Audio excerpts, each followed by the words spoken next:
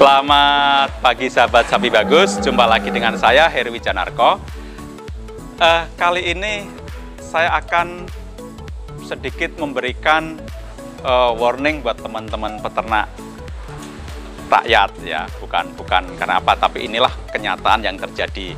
Jadi selama ini uh, kita sebagai peternak rakyat, peternak kecil, mengandalkan target pasar kita adalah momen-momen Idul Adha ya. Jadi ini kurang uh, sebulan lagi betapa kesibukan betapa uh, kalau kita bilang satu-satunya pasar yang masih sangat menguntungkan buat kita adalah momen Idul Adha.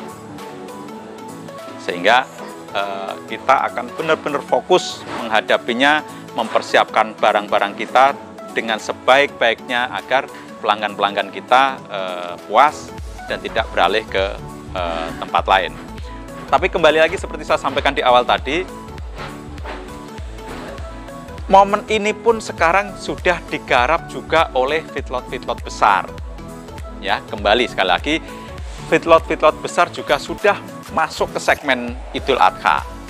Kalau dulu feedlot-feedlot besar pure memelihara sapi-sapi jenis BX yang notabene tidak bisa kita gunakan untuk e, kurban ya karena beberapa hal misalnya e, sudah dikastrasi sehingga tidak memiliki lagi e, buah e, jakar ya sehingga menurut e, keyakinan kita itu sudah tidak bisa digunakan untuk hewan kurban.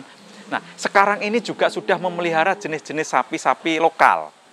Ya, banyak feedlot yang sekarang punya ribuan sapi Bali misalnya, punya ribuan sapi e, Madura, juga punya banyak peliharaan sapi-sapi jenis e, crossbreed, limosin, simetal, dan lain-lain, PO. Nah, ini tentunya akan menjadi saingan kita buat kita peternak-peternak kecil, peternak-peternak skala-skala e, rumah tangga, jadi kalau kita tidak bisa mempersiapkan barang kita dengan baik, tentunya barang kita akan ditinggalkan oleh konsumen kita. Karena bayangkan dari segi efisiensi e, tenaga, mereka pasti jauh lebih efisien ya. Feedlot-feedlot besar pasti jauh lebih efisien. Nah, dari mana kita bisa bersaing di situ? Nah, yang inilah perlunya kreativitas kita. Kita harus benar-benar kreatif dalam hal mensiasati misalnya pakan, mensiasati tenaga, dan lain-lain. Kalau ini bisa kita lakukan, kita yakin sebenarnya kualitas barang kita tidak kalah dengan kualitas barang-barang dari uh, feedlot.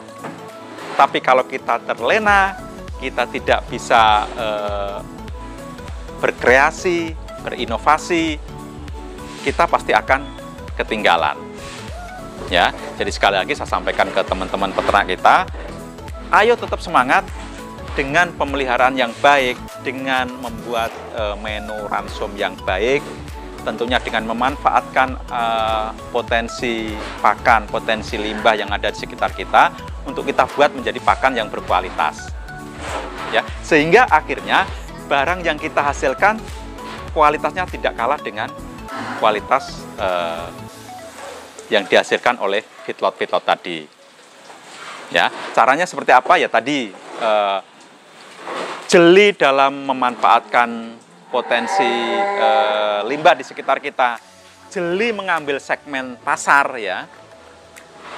Karena tentunya di lingkungan kita kitalah yang lebih tahu segmen pasarnya, ukuran, jenisnya, ya termasuk bobot segala macam ya dan lain-lain supaya bisnis kita tetap bisa bertahan, tetap bisa berkembang, dan tetap menghasilkan profit yang bisa kita nikmati.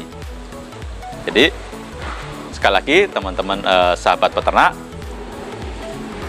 kita tidak perlu takut, kita tidak perlu khawatir menghadapi persaingan. Yang penting kita siap, kita tahu permasalahannya, kita berinovasi, dan tetap semangat. Bangga sebagai peternak, salam sapi bagus.